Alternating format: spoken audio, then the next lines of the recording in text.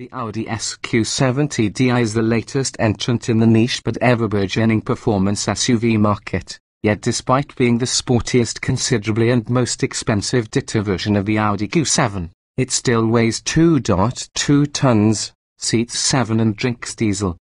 As with rivals like the BMW X5, Range Rover Sport and Porsche Cayenne, this doesn't immediately sound like a recipe for a good time but very swiftly comes to reprogram your parameters, a phenomenon that in this instance is executed via a considerable amount of Vorsprung durch Technik.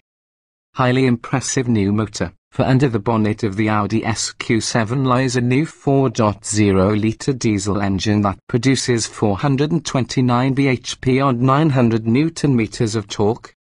that's an immense amount of muscle and it arrives at only 1000 revolutions per minute, thanks not just to twin sequential turbochargers but the world first production car application of something called an electric-powered compressor as well.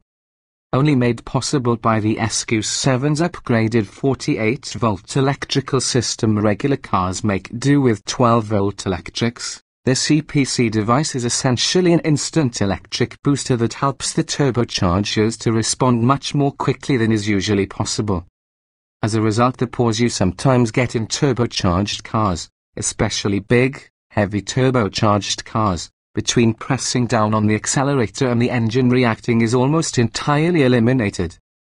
though the combination of substantial bulk and a swift-acting 8-speed automatic gearbox as standard sometimes disguises quite how vigorously this technology allows the SQ7 to get moving, there's no doubting the official 4.9 seconds 062 miles per hour time. Keep a very close eye on the speedo, as you'll almost always be traveling far faster than you realized.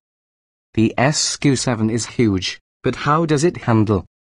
It's probably best to go for the optional carbon ceramic brake upgrade to help counteract the SQ7's momentum, especially since even this exceedingly powerful braking system begins to smell hot after an extended period of hard driving.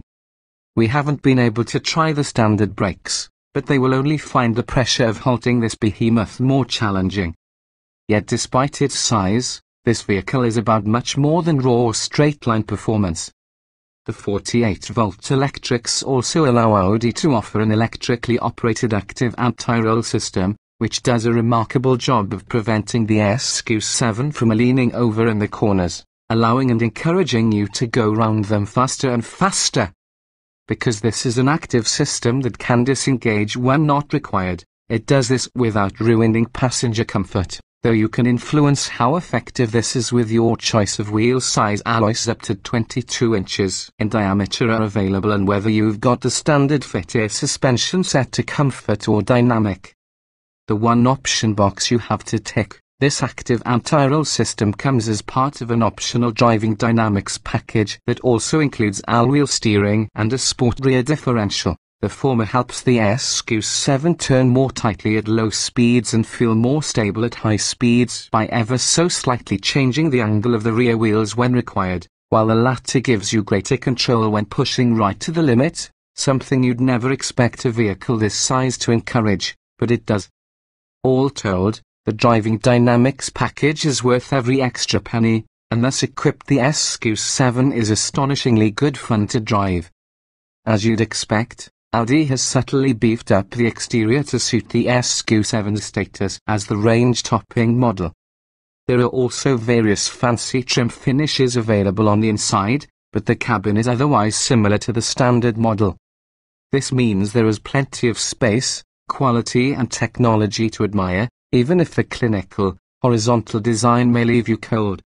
Verdict although you need to spend beyond the already hefty asking price which is listed as nearly £71,000 at time of writing to get the best out of it, the Audi SQ7 is a remarkable machine. Rarely have we driven a vehicle that is so vast yet so fun, and this heady combination of driver engagement, adaptable comfort levels and flexible passenger accommodation is sure to win it plenty of fans at the higher end of the SUV market. A very impressive technological display indeed.